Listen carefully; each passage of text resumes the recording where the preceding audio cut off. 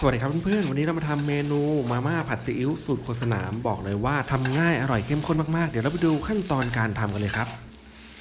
ขั้นตอนแรกนะครับ เรามาต้มเส้นมาม่ากันก่อนเลยครับ น้ำก็เดือดนะครับ ใส่มาม่าลงไปเลยครับ ผมก็ใช้มาม่าอยู่ที่ 4 ก้อนนะครับเพื่อนๆ ใส่ลงไปต้มนะครับ พอเส้นเขากระจายตัวนะครับ ก็ตักขึ้นมาได้นะครับ ไม่ต้องต้มสุกจนเกินไปนะครับ เส้นเขาจะเละได้นะครับเพื่อนๆ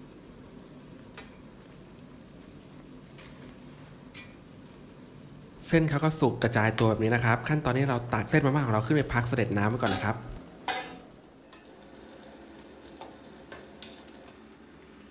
แล้วก็ให้เรานำน้ำมันที่ได้จากซองมาม่านะครับลงไปคลุกเคล้ากับเส้นมาม่าของเราเลยครับ ผมก็ใช้เป็นมาม่ารสหมูสับนะครับเพื่อนๆให้เราคลุกเคล้าให้เข้ากันนะครับ เสร็จแล้วนะครับ ก็นำเส้นมาม่าของเรานะครับ ไปทำขั้นตอนการผัดมาม่าซีอิ๊วเลยครับที่เราคลุกเคล้าแบบนี้นะครับ เราจะได้ความหอมจากน้ำมันมาม่านะครับ น้ำมันในกระทะของเราก็ร้อนนะครับ ขั้นตอนนี้ครับใส่กระเทียมจีนสับลงไป 2 ช้อนโต๊ะนะครับ แล้วก็ผัดให้แตกกลิ่นหอมเลยครับ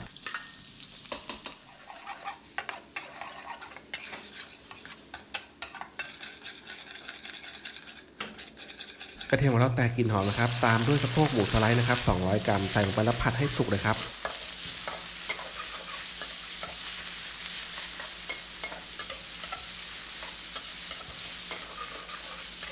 หมูของเราก็สุกนะครับ ตามด้วยไข่ไก่สี่ฟองนะครับ ใส่ลงไปเลยครับ แล้วก็ตีไข่แดงร้อยแตกเล็กน้อยนะครับ แล้วก็ให้เราผัดไข่ของเราให้สุกนะครับ ก่อนที่จะใส่เส้นมาม่าลงไปนะครับเพื่อนๆ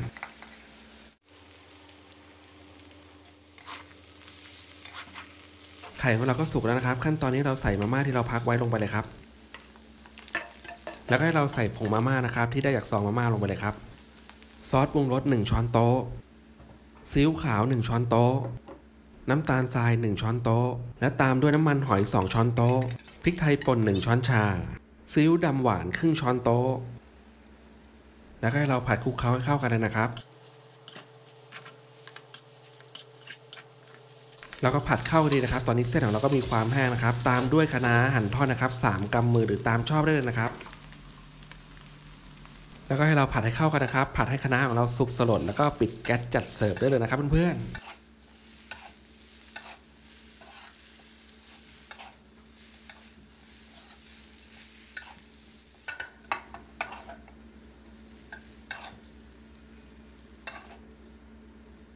ก็เสร็จแล้วนะครับ เมนู